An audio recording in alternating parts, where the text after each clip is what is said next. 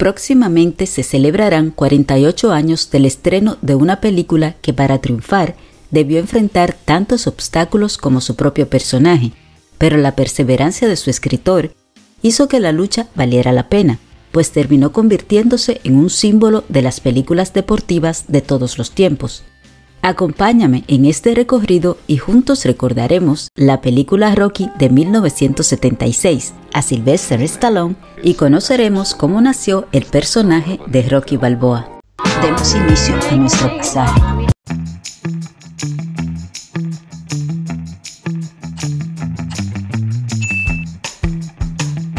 Un trasfondo inspirador. Y detrás de esta motivadora película hay una historia en 1975, un desconocido Sylvester Stallone, con apenas 29 años, 106 dólares en su cuenta de banco y una carrera que no terminaba de despegar, se sentía frustrado por la negatividad que invadía la pantalla de la época y evocando la moralidad y grandeza del cine de décadas anteriores, quiso plasmar estas cualidades en el personaje que escribiría su nombre en la historia del cine.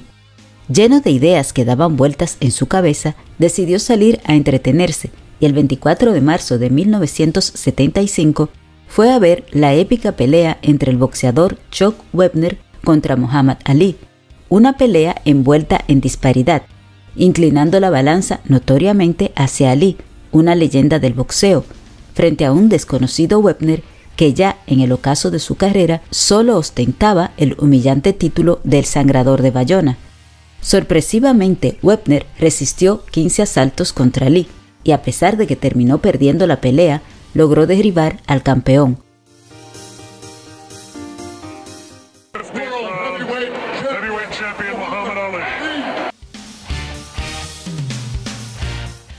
Aquel ser que venció las adversidades poniendo en su lucha todo su corazón, le dio a Stallone la luz que necesitaba con su inspiración en el punto más álgido, escribió el guion en bruto de la película en tan solo tres días, pero cuando lo presentó se encontró con más de una dificultad, y una de ellas, y la más grande en aquel momento, era que los productores sí estaban interesados en la historia, pero no querían que un desconocido Stallone interpretara el papel principal.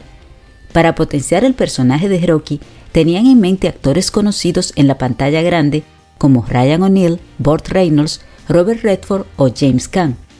Stallone recibió la oferta de 300 mil dólares por el guion, una oferta que pese a la difícil situación económica que atravesaba, rechazó porque sabía que si cedía, la producción podría elegir al actor que quisiera, y él estaba empecinado en protagonizar su película. Finalmente su obstinación dio resultado y la United Artists financió la película con un presupuesto de un millón de dólares para filmar a Rocky en tan solo 28 días. Por supuesto que Sylvester Stallone se quedó con su ansiado y merecido protagónico, que por cierto fue el primero de su carrera, eso sí, a cambio de un salario menor. Un trato del que Stallone nunca se arrepintió debido al posterior éxito obtenido por la película, con una recaudación total de 225 millones de dólares. Trama la película cuenta la historia de Rocky, un boxeador de poca monta que trabaja como cobrador de deudas para un usurero y que recibe una oportunidad única en su vida, enfrentarse al campeón mundial de peso pesado Apollo Creed. En el transcurso de la trama, Rocky se prepara para esta gran pelea, enfrentando desafíos tanto físicos como emocionales. La trama culmina en un combate épico donde Rocky representará la imagen sangrante y batalladora de Chuck Webner, y Apollo Creed, un campeón sorprendido en plena pelea como sucedió con Ali. Como decir más sería hacer spoiler y contamos con que algún pasajero no haya visto el film, pasemos a otros detalles interesantes de la película. Con Stallone asegurado como Rocky, el siguiente paso fue encontrar a los actores idóneos para los personajes que serían clave en su desarrollo. Adrián Penino. Talia Shire fue elegida para interpretar a Adrián, la tímida empleada de la tienda de mascotas, interés amoroso de Rocky. Shire, conocida por su papel en El Padrino, aportó una vulnerabilidad y profundidad al personaje. Burt Young interpretó a Pauli Penino, el hermano de Adrián y amigo de Rocky.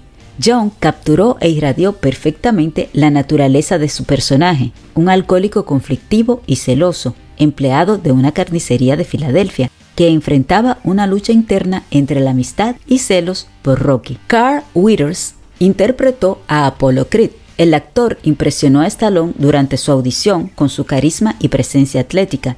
Withers trajo una energía vibrante al papel del campeón de boxeo Apollo Creed. Borges Meredith, nuestro recordado pingüino de la serie Batman, fue elegido como Mickey Goldmill, el entrenador gruñón pero sabio de Rocky un veterano actor que aportó una gran autoridad y experiencia a su papel. Dificultades para la filmación.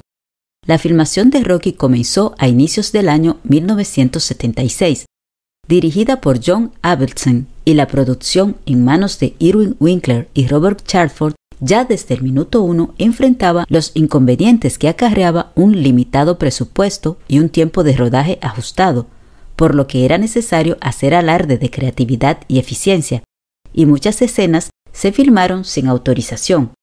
En alguna ocasión, Stallone recordó que muchas veces mientras corría por los vecindarios con su chándal desgastado, la gente le lanzaba cosas porque no sabían quién era. Incluso llegaron a lanzarle naranjas. Se ambientó y se filmó en locaciones reales de Filadelfia, poniendo ante la pantalla arquitecturas que sirvieron de fondo a las escenas más icónicas de la producción, como aquella en la que Rocky Balboa realiza un intenso entrenamiento corriendo por las calles hasta culminar subiendo las escaleras de 72 peldaños del Museo de Arte. Al llegar a la cima, levanta los brazos en señal de victoria acompañado por la banda sonora.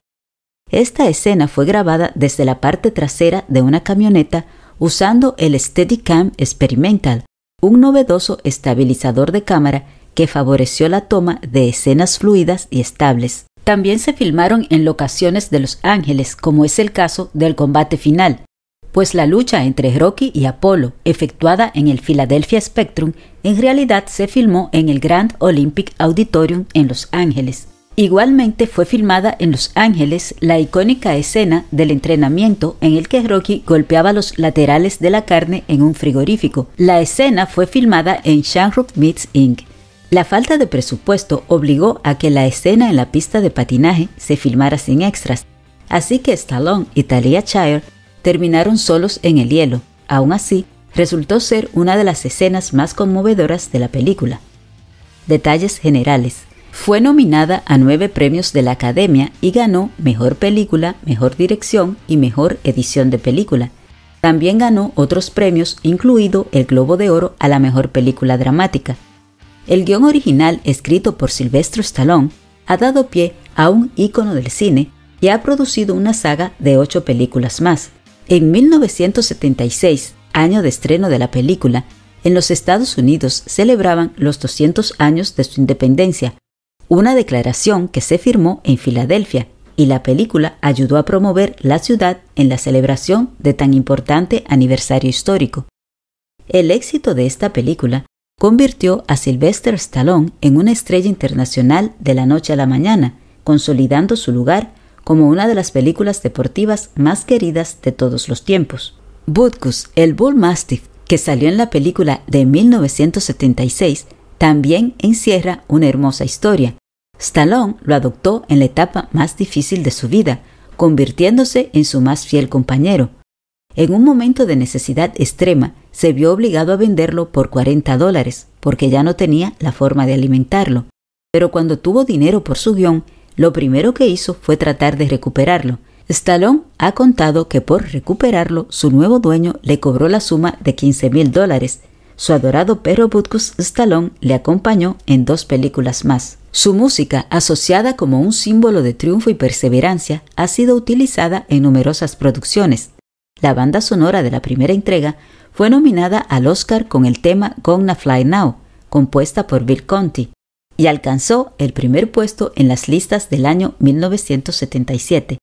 En el año 2006, la película fue seleccionada para su conservación por el National Film Registry de la Biblioteca del Congreso de los Estados Unidos, por ser cultural, histórica y estéticamente significativa.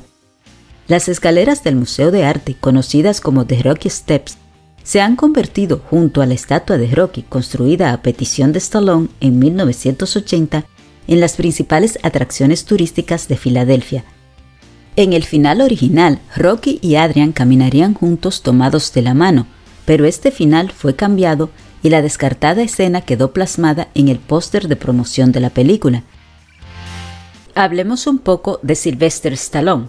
Sylvester Gardencio Stallone nació el 6 de julio de 1946 en Nueva York, Estados Unidos, de ascendencia italiana, francesa y judía.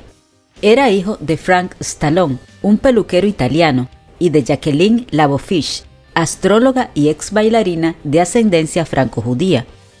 Stallone tuvo una infancia difícil debido a complicaciones en su nacimiento que le causaron parálisis parcial en la cara, lo que afectó su habla y expresión facial. A pesar de estos desafíos, Stallone se convirtió en uno de los actores más icónicos de Hollywood, especialmente conocido por sus papeles en películas de acción. Su gran oportunidad llegó con Rocky, la película que hoy reseñamos. Además de su carrera como actor, ha trabajado como guionista, director y productor. El actor que en sus inicios tuvo que luchar muy duro por ser merecedor de protagonizar su propia película, llegó a alcanzar tanta fama que pudo darse el lujo de rechazar posteriores protagónicos como Terminator y Duro de Matar, entre otros sonados éxitos. Se casó tres veces y tuvo cinco hijos. Actualmente tiene 78 años.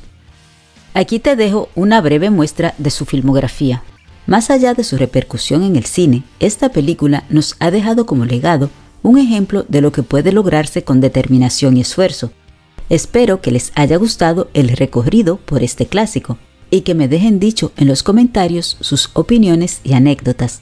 Cuéntenme si la vieron y si piensan que Stallone fue el mejor intérprete de Rocky o si habrían preferido otro actor. No olviden regalarme sus likes, activar sus campanitas de notificaciones y compartir este contenido en sus redes. Con esto ayudarán a crecer nuestra comunidad de pasaje retro. Gracias por acompañarme y hasta el próximo pasaje.